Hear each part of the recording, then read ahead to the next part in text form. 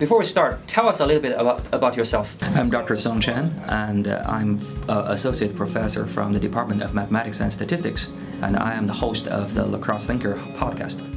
So basically, if you're from La Crosse and uh, you would like to listen to intelligent people talk, sharing their professions, of course, and also sharing sharing about their visions as an individual human being, their relationships, and their view about the, the world, then this is the right podcast for you basically any question you ask, you can stop halfway. You don't have to read the whole thing. They will right go to the point and hit your pain point and actually lead you through the whole process. For example, you don't have some educations in biology, and I don't have any education in biology. It doesn't stop me from enjoying a really good conversation with a biological uh, professor simply because they teach every day. They know how to approach people with uh, audience with different level of uh, specialties. So I think actually I will leave that part to them, and they will actually find this sweet spot better than me. It's more fun to listen to a person. You got the facial impressions. You got where they got excited about. You know, there's a lot of interesting story. You will realize, wow.